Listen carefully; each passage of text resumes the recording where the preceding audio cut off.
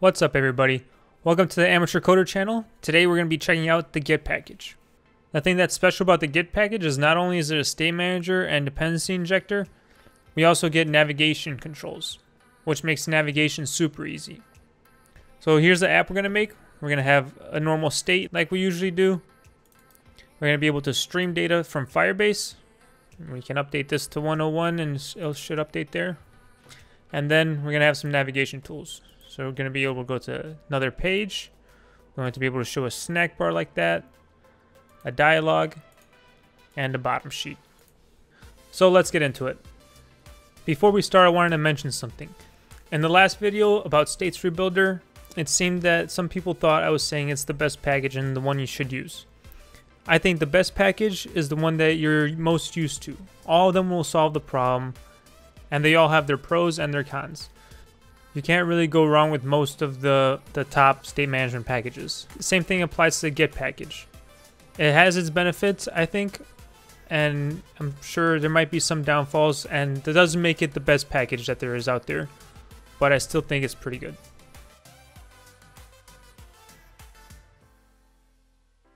Also, the author of this package has been the source of some controversy, and I'm just going to judge this package based on what it is. We're going to put all of that aside, and we're just going to look at what it's capable of.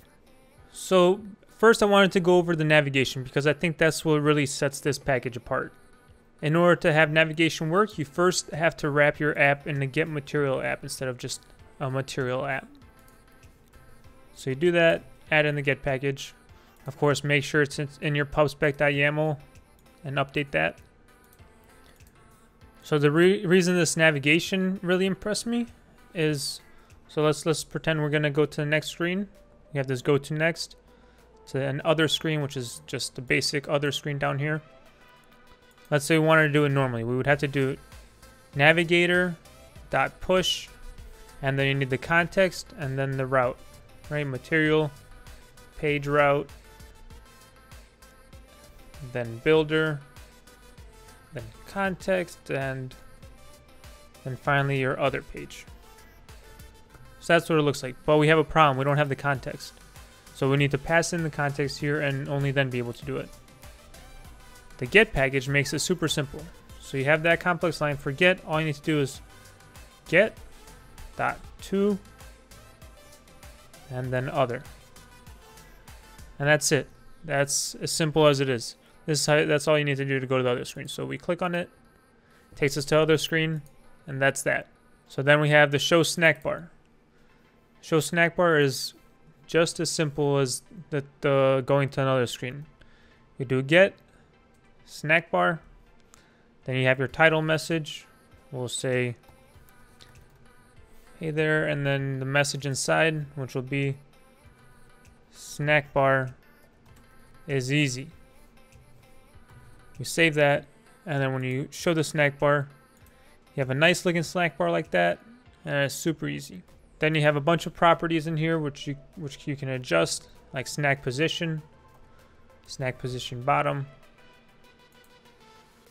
and it'll show up at the bottom. You can change color, whether it's dismissible, duration, on tap, anything you want. Show dialog, also just as simple. Just do get default dialog. You have a title field, and then you have content field, which you can make it any widget. But inside we're going to be just a simple text widget. Can say too easy. And then boom, dialog works. Notice again, for all of these, you would need a context, but here you can call them from anywhere. You can have it be a global function where you just call it and it'll show up and then bottom sheet as well. Same thing, get bottom sheet. Then inside, you just have your widget of the bottom sheet. I was going to copy paste the container. So you see it's just a normal container with some list tiles and that's that's literally it. We save it and have a beautiful bottom sheet like that pop up. So that's navigation. All of these have a lot of properties you could look into. And there's other ways to do navigation like name navigation where you can where you can set your routes in the main and use those. There's a lot of options you could check out in the documentation which will be in the description. So now let's get into the state management of get package. So this is where it becomes a little bit controversial. The author of get says that his package takes up less memory than even provider and BLoC. But the creators of provider and BLoC disagree with him a little bit. Personally, I'm not educated enough on any of these packages to really know who's right or anything, but I know that the get package does work for state management. Just don't know how efficient it is. So we're going to create a simple counter state. And in order to set up the state, we're going to have a class counter state. And then we need to extend this thing called a get controller. That's going to give us all the things that we need from the get package. So the state is managed a little differently. Let's say we have our counter. This is what we've seen in the other packages. But in get, you need to wrap this counter in a special thing called int x. So once you do that, you need to add .obs at the end to make it observable. And then from there, you can work with it as you want. So let's say we want to increment the counter. We just do counter dot value, and you see all the properties it has. So we need the value property, and we will increment it. So a little different setup from the other state management, but not too difficult, in my opinion. So now the way to display. There's a couple options. There's get builder, get x, obx, and mixin builder. This is the, we're gonna use obx, which you just observe the the state. I think it's the most simple one to set up. I haven't looked too much into these. I've used get builder, but but if you're looking for different ways to display the state or you're having some problems with OBX, just look at the documentation. I'm sure there's some solutions to that. So, all right. The way we're going to get the state. Basically, like we would retrieve the provider. We will do final counter state. And we'll say, we'll call it counter state equals get dot put and then counter state. So uh, the way I read this is you're putting the counter state into this variable. Not too difficult. And then once you have that, it's pretty pretty straightforward. So we have our floating action button at the bottom. Let's say we want to cause that to increment the state. All we need is the counter state and then increment and that is it. You are able to increment the state. So in order to display, we're going to use the OBX like I like I said. And inside it takes a function. And then we return a text. We'll have it say state. And then right next to it, it's going to be counter state dot counter. And we'll just make it a string too. Make sure we do plus. All right, so we have zero, and then incrementing works perfect. So one thing to know about get is there's not anything special to do with streams. So even one of his points in the documentation says that you just use a normal stream controller and a stream builder for it. There's no special thing like stream provider that provider has or things like that.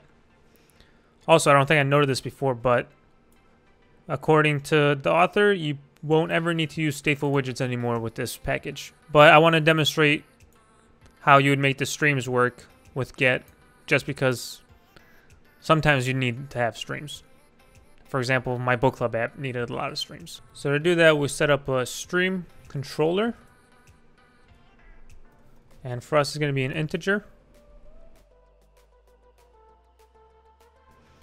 And to make sure you dispose of your stream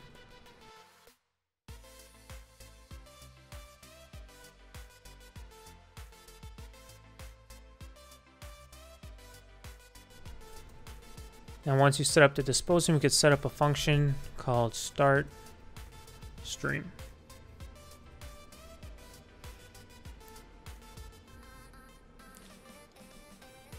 So just like we did in the last video, we can stream from our Firebase.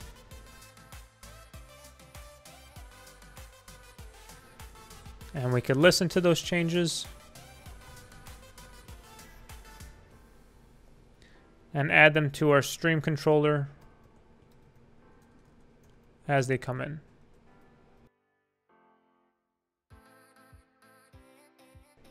Alright, so our stream is set up. Then in the home widget, we can easily start that stream using the same counter state that we declared at the top. And then to display, we use Stream Builder. And this doesn't have much to do with the package. It's just mostly Flutter functions. But then we can return text, stream, snapshot, dot data, Uh, to stream. And then we need to provide the stream builder with the exact stream. So that's located in our counter state, stream controller, dot stream. Okay, so there we go. We click on it, 101 comes from our database. We can update it. And there we go, everything works. So that's it. That's the basics of the Get package. You saw it has some stuff that makes it really simple to use and easy to implement. With this package, I really like the navigation. I feel like it makes it super easy. Like to make a snack bar, that's literally all you need. You don't need context or anything to navigate between the pages. All you need to do is get to another. It doesn't get much easier than that. As far as the state management, I think I need to dig deeper into the state management to see what it's really about. Hopefully this video gave you a couple basics to get you started with Get and you can take a look for yourself to see if it works for you. Like I said at the beginning, there's no best state management package. Each of them have their own benefits and their own downsides. You just have to experience and then judge it for yourself. But that's it for this video. This code will be on GitHub like always. If you have any questions or anything, please leave them in the comments. Like, subscribe, and share if you enjoyed the video, and thanks for watching.